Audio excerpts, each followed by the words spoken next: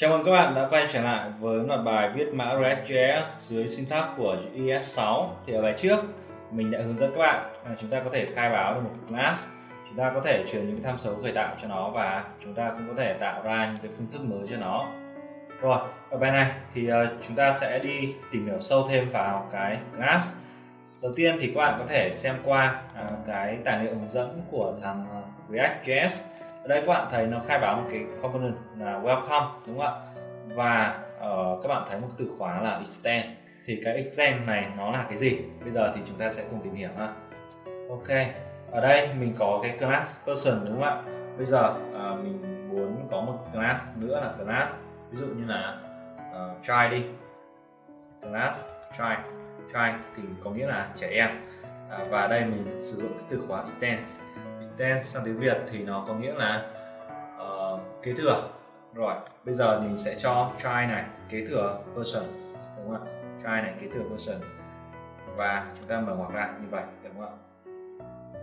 Sau đó thì ở đây uh, mình tạo ra một cái đối tượng mới. Thay vì đối tượng p2 chúng ta sẽ tạo ra và ở try bằng new try đúng không ạ?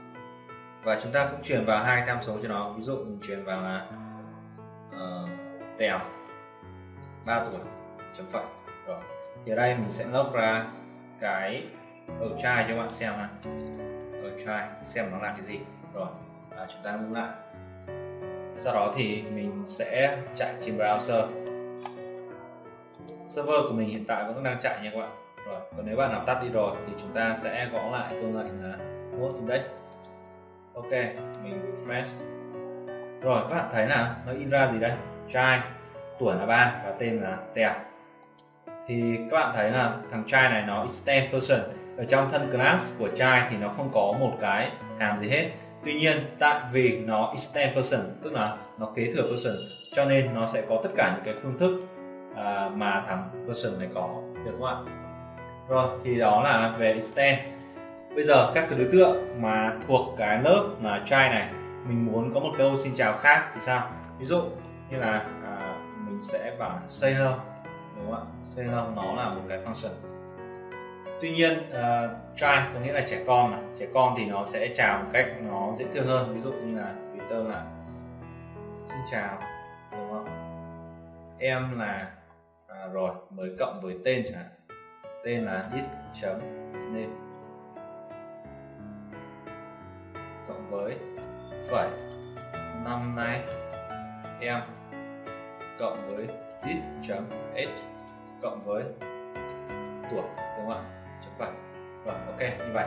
Rồi, sau đó thì ở đây mình sẽ log ra chai chấm say hello đóng bằng ngoặc ok, và chúng ta refresh.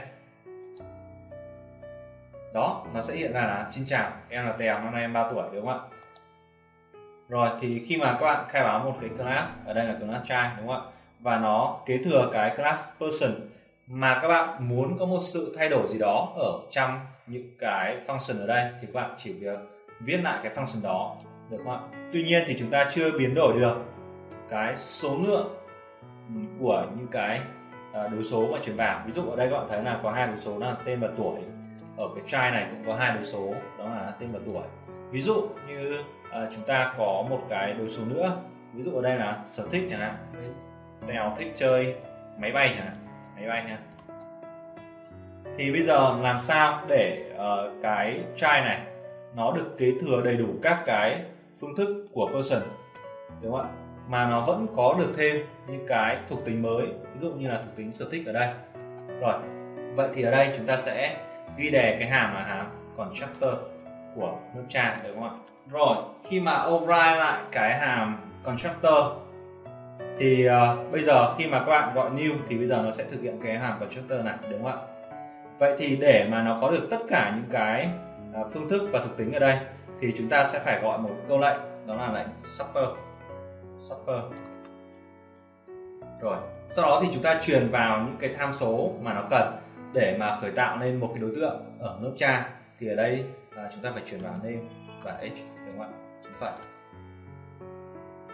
tiếp theo mình muốn là cái đối tượng try này nó sẽ có thêm một cái thuộc tính nữa là thuộc tính sở thích.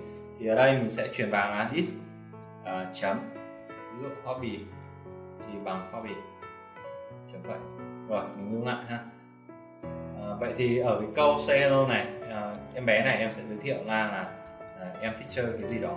Thích chơi và mình cộng với lại list chấm hobby đúng không ạ? Và mình sẽ truy cập vào localhost 3000 enter. Rồi à, uh, inspect nó. Chúng ta sẽ thấy được cái câu console log à, xin chào em là Tèo năm nay 3 tuổi và em thích chơi máy bay đúng không ạ? Rồi các bạn thấy đây là cách để chúng ta kế thừa một cái class. Ở đây là chúng ta kế thừa class person này. Là chúng ta có cái phương thức hello là một cái phương thức ghi đề của person đúng không ạ? Và nếu mà chúng ta muốn có thêm những cái thuộc tính ở dưới này thì chúng ta phải override tức là ghi đè lại cả cái hàm constructor của lớp trang khi mà ghi đè thì các bạn buộc phải gọi một câu lệnh supper để nó có đầy đủ những cái thuộc tính và phương thức như ở trên này đúng không ạ? Nếu bây giờ mình bỏ cái chữ supper đi thì bây giờ các bạn sẽ à, mình lưu lại mình chạy thử ha. Rồi mình refresh lại rồi các bạn sẽ thấy là nó sẽ à, báo cho mình một cái lỗi và nó bảo là this thì không được cho phép. Cái từ khóa this này nè thì các bạn buộc phải à, đi sau cái từ khóa supper đúng không ạ? Thì đây chúng ta phải có cái supper thôi. Rồi à, mình refresh lại thì bạn sẽ thấy được kết quả đó và nó in ra đúng. Ok như vậy là mình đã giới thiệu xong cho các bạn về cái từ khóa extend ở trong ES6 ở video tiếp theo thì chúng ta sẽ sử dụng những cái kiến thức mà chúng ta đã nói về class à, để chúng ta viết ra những cái component. Ok, chào các bạn và hẹn gặp lại các bạn ở trong các video tiếp theo.